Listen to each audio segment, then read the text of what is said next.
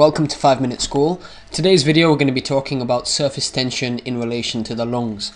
Now surface tension, I've included a diagram here so you can see a uh, sort of brief little uh, picture showing you how surface tension actually works. But the definition of surface tension is um, it's uh, the tension of the surface film of a liquid caused by the attraction of the particles in the surface layer by the bulk of the liquid, which tends to minimize the surface area. So it's a form of elastic tendency of liquids which makes them acquire the least surface area possible and that's being shown by this uh, little image here.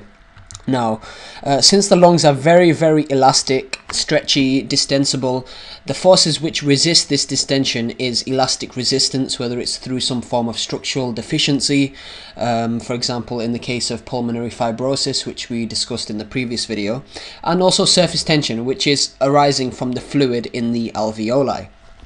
Now, uh, the lungs themselves, they're able to secrete and absorb fluids in two antagonistic processes, and the overall effect of these two um, these two methods is to leave a thin film of fluid on the alveolar surface.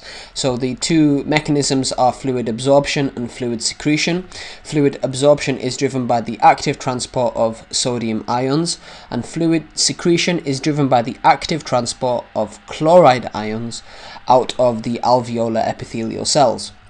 Now, the thin layer of fluid on the alveolar surface has surface tension, and this is produced due to the attraction of water molecules to each other as opposed to the air at the fluid surface.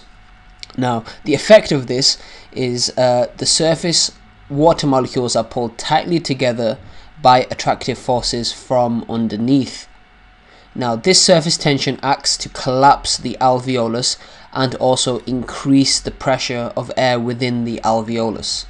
Now, via the law of Laplace, the pressure which is thus created is directly proportional to the surface tension and also inversely proportional to the radius of the of the alveolus.